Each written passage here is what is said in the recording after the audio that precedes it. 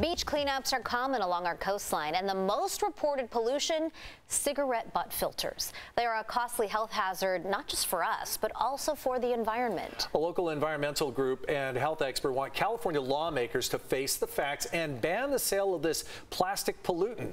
Our chief meteorologist, Karlene Chavis, lets us know how we can help them in this Earth 8 report. Cigarette butts are disgusting. They completely line our streets across our county and our coastline. I'm here in Ocean Beach where experts want to filter out this problem. How far did we walk? Like 100 feet and we got 50 butts? Yeah, it's nuts. It's nut balls. Well, I for one second that notion, Mitch. This coastal defender is Mitch Silverstein with the San Diego chapter of the Surfrider Foundation. We took a morning stroll, or should I say patrol, in Ocean Beach, where it didn't take long to find cigarette butts blending in amongst like, the sand. It's like it looks like an ashtray. You know, it's like like it's like the beach is not an ashtray. And if you think, well, I'm only putting out one cigarette butt, where's the harm? Think about this. There's six trillion cigarettes manufactured globally. You put one, the next guy puts one, the next million people put one, and what we find is that about a third of all the litter that's picked up from the beaches is cigarette butts. You tell him Dr. Novotny. He is a professor emeritus at the SDSU School of Public Health. This environmental concern is echoed by many organizations, including the National Oceanic and Atmospheric Administration, NOAA, citing cigarette butts are the number one marine pollutant in the world. Dr. Novotny refers to cigarettes as a tea bag of toxins, citing the 7,000 chemicals found in them, including 50 of which are capable of causing cancer.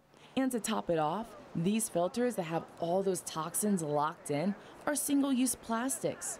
Don't let the appearance of a paper lining fool you. The filter, which is the most picked up item of the cigarette butts, is plastic. It's cellulose acetate. Doesn't biodegrade, stays in the environment. It may get squashed, broken up into small pieces, and re is retained as microplastics in the environment as well. So we both have a chemical and a plastic pollution problem with cigarette butts. To better illustrate how microplastics get dispersed into our environment, Mitch uses this example. I always show them styrofoam because it's the most easy to see example of how one piece of plastic you know, this from a cooler thing instantly turns into thousands and thousands and thousands of pieces. Becomes indistinguishable from the sand even. Once broken down but not gone, the microplastics associated with cigarette filters become embedded in our environment and even us. It's also a sponge for toxins. So it soaks up toxins, fish eat it, and it become and we eat that fish and we get those toxins and we get that plastic. So we're eating it. When it comes to putting out this issue, Dr. Novotny advocates for an upstream way of preventing this top pollution. He wants legislation passed that would ban the sale of filter cigarettes, citing the filter itself has no health benefits. It's not just the environment. If we can reduce tobacco use in any, even a small percentage, we're going to improve the health of Californians, reduce the cost of health care, reduce the cost that is involved in cleaning up beaches and urban environments, and despoiling the natural environment that we have. Mitch echoes this sentiment on the ban with involvement on the local and state level. We can try to blame litter bugs all we want, but at the end of the day, we need to hold the producers responsible and we need to prevent every single cigarette from having a plastic butt where evidence is overwhelming that it's hazardous waste and highly likely to end up in our environment.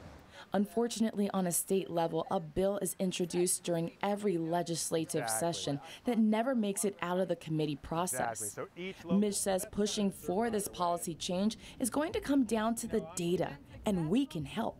We have a great tool, beachcleanups.surfrider.org. Any individual can have an account and add to the data that we collect because we need to show policymakers the data. You know, not just come out and say, hey, you know, I feel like the ocean's being polluted. We know it, and we have the numbers to back it up. So let's bring them the facts so this issue doesn't stay buried in our sand. For CBS 8, I'm Chief Meteorologist Karlene Chavis.